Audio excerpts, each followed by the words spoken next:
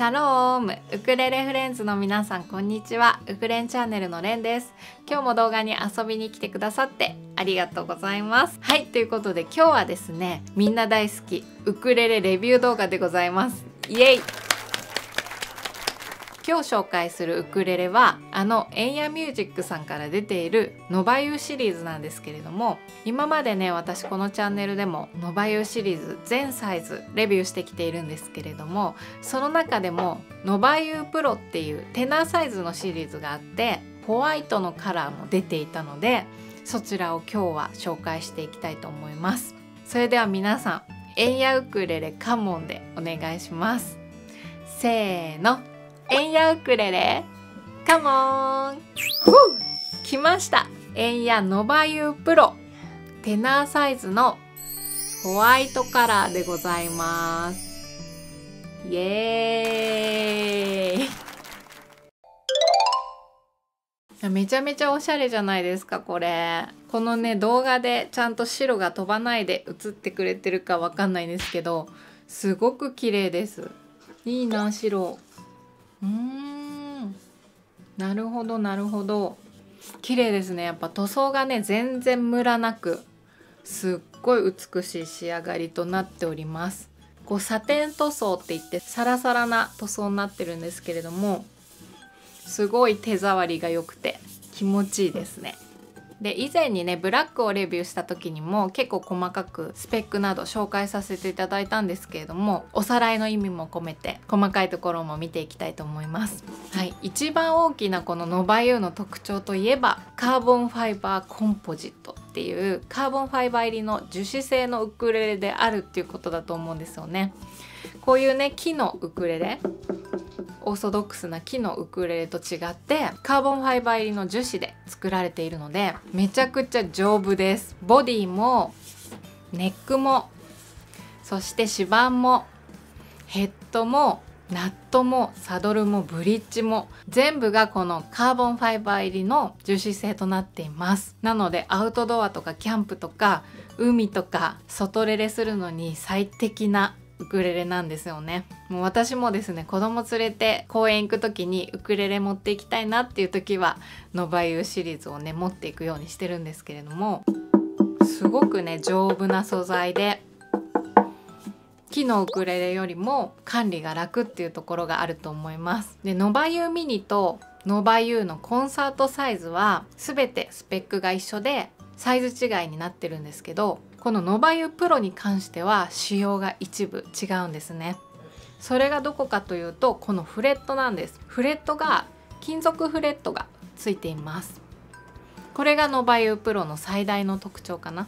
でこのフレットって弦が直接当たる素材じゃないですか。で全ての樹脂製にとって弱点ともなりうるのがこのフレットが樹脂製っていうことなんですよ。結局ねたくさん弾いている人あとハードなこう弾き方をする人とかにとってはこの樹脂製のフレットになってくるとだんだんだんだん摩耗していってしまうフレットが削れていってしまうっていう現象があるみたいなんですよね。私はそこまでねハードにまだ使ってないのでフレットの減りっていうのは感じてないんですけれどもそんな中でもこの NovaU Pro はフレットが金属フレットになってるので安心してガシガシ弾ける一本となってるんじゃないかなと思います。で NovaU Pro はサイズがテナーサイズとなっていてこのスケール弦の長さもテナースケールとなっています。なのでピッチもより安定するし張りのある音色が出ると思います。あとねこの備え付けの弦が違くて他のノバユーシリーズはエンヤのオリジナルのフロロカーボン弦 E6 っていう弦が使われてるんですけれどもプロに関してはダダリオの EJ88 チタニウム弦が貼られてます。エンヤのねフロロカーボン弦は結構細くてすごく初心者でも弾きやすいっていうかすごい抑えやすい弦なんですけれどもこのプロについている EJ88 っていうのは逆にちょっと太めの弦でかなりテンションが高く感じられる弦だと思います。その分めちゃめちゃ張りが出て音色にもキレを感じられるんじゃないかなと思っております。あとは全部スペックは普通のノバイオシリーズと一緒です。次は音色を聞いてみたいと思います。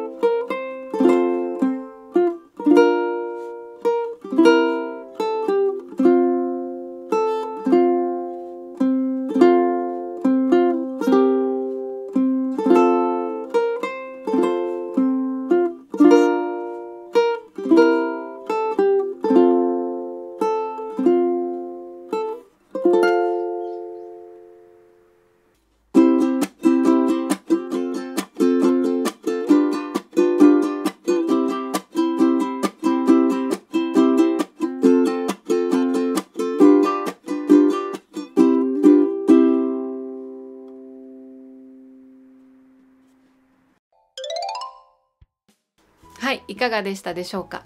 樹脂製のウクレレといえども侮れないですよね。結構ねいい音がするんですよ。もっとおもちゃっぽいペカペカな音がする樹脂製のウクレレもあると思うんですけどもこのノバユシリーズはちゃんとツヤのある音色っていうのかな？すごくね綺麗な音色がしてるなと思います。ちょっとねブラックのカラーと見比べてみましょうか。じゃん。はいこういう感じです。ブラックもねめちゃめちゃかっこいいでしょこれ。あのノバユーのコンサートと違ってこのブラックカラーはちょっとグレーっぽい色なんですよね。真っ黒じゃないんですよ。これがまたかっこいいなと思って。こんな感じです。でホワイトはこんな感じ。えどっちが好きですか？これ。ね。かっこいいですよね両方とも。この動画の説明欄の方に商品のリンクが貼ってありますので気になる方は是非そちらチェックしてみてください。でこのウクレレにはこちらのバッグもついてきます。こんな感じでガバッと開けるタイプでノバユー専用の厚みになっているケースです後ろにショルダーが1本ついてるので肩にこうかけて出かけることができます持ち手もねついてるのでここで持って運ぶこともできます。あとはこんな小袋が入っていて中はねこういうボディカラーに合わせたストラップが入ってます。こちらホワイトですね。ブラックのカラーのやつにはブラックのストラップが入ってます。あとカポ。これもねボディカラーに合わせたカラーリングの白が入ってますね。そして替えの弦。エンヤの E6 っていうフロロカーボン弦が入ってます。だからね最初の備え付け弦の EJ88 がちょっと指痛いなっていう方はこっちに付け替えるとテンションが低くなって使いやすいと思います。はいということで今日はノバユープロのホワイトの紹介でございました。いいなと思った方は是非グッドボタンお願いします。チャンネル登録もお待ちしております。それではまた次回のウクレンチャンネルでお会いしましょう。じゃあね。バイバーイ。